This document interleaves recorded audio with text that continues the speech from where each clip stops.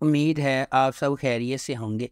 अगर आपने अभी तक हमारा चैनल सब्सक्राइब नहीं किया तो इसे अभी सब्सक्राइब कर लें और बेल आइकन को दबाना बिल्कुल भी मत भूलें। आपका बहुत बहुत शुक्रिया। नंबर आठ, शाहान हयातम। दुबई की चमकती हुई आसमानी लकीरों से लेकर मियामी के धूप में भीगे साहिलों तक, शाहान हयातम शबनम के सफ़र की पैरवी करता है। एक मुखालिफ हीरोइन जो मुश्किल से पैदा हुई जो मुआरे की सीढ़ी की चोटी तक अपने पंजे गाड़ती है। शबनम एक स्कॉलरशिप वाली बच्ची थी, जो एक लीड स्कूल में पढ़ती थी, जहाँ इसे अमीर तलबा के वालदेन और यहाँ तक कि इसके कुछ इस ने तंग किया था। इसके दिमाग के बावजूद किसी ने नहीं सोचा था कि वो इसे इनकी सतह तक पहुँचाएगी, लेकिन प्लास्टिक सर्जरी और अटल ख्वाहिश के साथ शबनम ने हतमी इनाम हासिल किया। ओनो नामी एक अमीर शोहर। नंबर सात जली कशु ये शो क्लासिक तुर्किश बुक जली कशु के लिए एक नया तनाजुर लाता है। फरीदे मरकज़ी किरदार एक नौजवान लड़की के तौर पर यतीम हो जाती है और इसे एक बोर्डिंग स्कूल जाने पर मजबूर किया जाता है, जहाँ वो छुट्टियों और हॉलीडेज़ के दौरान अपनी खाला से मिलने जाती है। इस दौरान इसे अपने दिलकश बड़े कज़न कामरान से मोहब्बत हो जाती है। इनकी मोहब्बत जल्द ही बाहमी तौर पर बढ़ जाती है और ये इनके सफ़र की निशानदेही करती है। क्योंकि इनकी मोहब्बत बढ़ती और शिद्दत इख्तियार करती है। इन तराही सराहा जाने वाला टेलीविज़न शो आपको मोहब्बत, बहादरी और मिजाह के इस सफ़र से गुजारेगा। नंबर छः सैन काल का पीनी एदा एक रोशन, खूबसूरत, नौजवान लड़की है जो एक फूल फरोश पर काम करती है। वो अपनी डिग्री हासिल करने और इटली जाने के ख्वाब देखती है, लेकिन इसके ख्वाब इस वक्त चकनाचूर हो जाते हैं जब बोलत होल्डिंग कंपनी के वारिस ने इसकी स्कॉलरशिप मनसूख कर दी और इसे यूनिवर्सिटी छोड़ना पड़ी। अब सिर्फ़ दो चीज़ें इसे जारी रखती हैं, इसकी पौधों से मोहब्बत और इसकी सरकन बोलत से नफ़रत। जब सरकन यूनिवर्सिटी में तकरीर करने आता है तो अदा बाहर एहतजाज कर रही होती है। बदकस्मत वाक़ात का एक सिलसिला इन दोनों को दिन के बेशतर हिस्से में एक साथ हथकड़ियाँ लगाकर छोड़ देता है। जब अदा को मालूम होता है कि सरकन वाकई वो सब कुछ है, जिससे वो नफ़रत करती है। मगरूर, खुदगर्ज और एक मुकम्मल कंट्रोल फ्रीक नंबर पाँच, बीर सेवदादिर तुर्की के जनूब मशरकी इलाके में सत्रह साल येशिल को इसके चचा के बेटे ने ज़्यादती का निशाना बनाया और वो प्रेग्नेंट हो गई। जब वो इस शख्स से शादी करने वाली है, जिसने इसे ज़्यादती का निशाना बनाया, एरसन, जो इस इलाके में फ़ौजी खदमात अंजाम दे रहा है, इसे इसकी शादी से अगवा कर लेता है।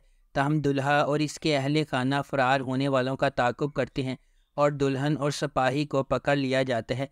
दुल्हे ने एरसन को मार डाला और यशिल ने दूल्हे को मार डाला। यशिल जेल चली जाती है और वहाँ अपने दो बच्चों, एक लड़का और एक लड़की के साथ बड़ी होती है। जब यशिल को रिहा किया जाता है तो वो अपने बच्चों की हिफाजत को यकीनी बनाना चाहती है।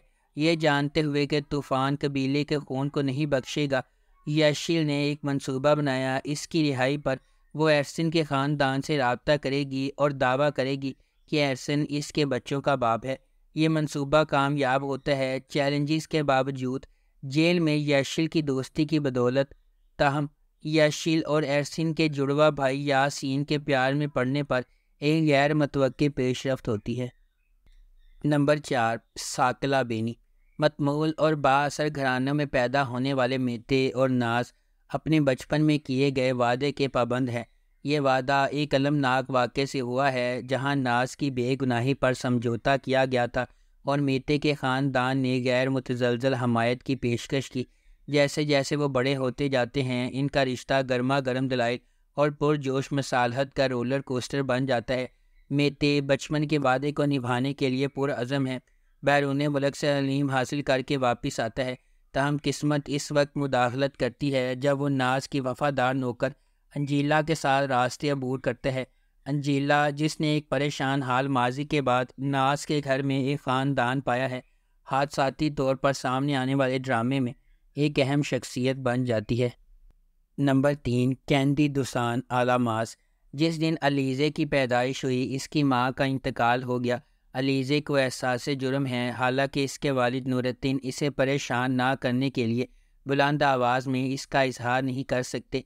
इसमें नूरद्दीन ने इसे खुश रखने के लिए किए गए समझौतों का इजाफा किया। नतीजा एक जारहाना खुदगर्ज किरदार है जो बुनियादी तौर पर अपने आप से मुतसादिम है। तहम वो एक ब्रेकिंग पॉइंट पर पहुँच जाता है, तकरीबन एक वेकअप कॉल जब इसकी बेटी एक मकैनिक की कार को नुकसान पहुँचाने वाले हिट एंड रन में मुलवस होती है। इससे पहले कि बहुत देर हो जाए, वो अपनी बेटी को वो चीज़ें सिखाने का फ़ैसला करता है। जब वो इसे छोटी उम्र में सिखाने से कासिर था, इसका पहला मकसद अलीज़े को दूसरों के फ़ैसलों और ख़ाशात का एहतराम करना सिखाना है। इस वजह से वो सेनम को प्रपोज़ करता है, जिसे वो बरसों से प्यार करता था, लेकिन शादी की तरफ़ कदम नहीं उठा सका ताकि अलीज़े परेशान ना हो।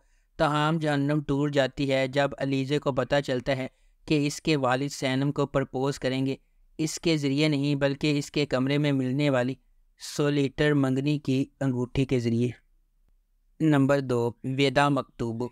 अला नूर की ज़िंदगी, जिसमें मुकम्मल तौर पर ज़िया पर मुनसर थी, ख़त के साथ बदल जाती है। ठीक तीस साल बाद, चाहे हम इसे तकदीर का मोड़ कहें, कायनात का बेमिसाल इंसाफ या मोहब्बत की ताकत, यिल्दिस और काली ख़ानदानों के रास्ते फिर से गुजर जाते हैं। दो मुखालिफ ख़ानदानों खसूस अला नूर और ज़िया की किस्मत अब इनके बच्चों, असली और महमद के हाथ में है।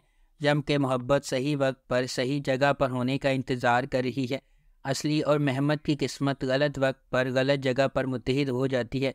असली फ्रांस के सबसे मुआज़ स्कूलों में से एक सौ बोझ जाएगी और महमद हतीजे से शादी करेगा, जिसे वो एक बहन की तरह प्यार करता था।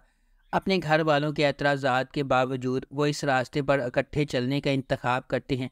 ये दोनों नौजवान मोहब्बत करने वाले ये नहीं जानते कि इनके शदीद जज्बात की जड़ें तीस साल पहले तक वापस जाती हैं, जब महमद के वाल ज़िया और असली की वालदा अला नूर की शादी होने वाली थी। ज़िया अचानक गायब हो गया और अला नूर को तनहा छोड़ दिया।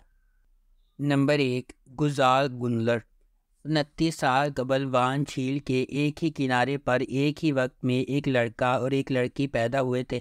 अक्लमंद और बूढ़े सैट्रिक ने दोनों ख़ानदानों से मुलाकात की और वालदेन को बताया कि बच्चों का मकसद एक ही किस्मत में होना है।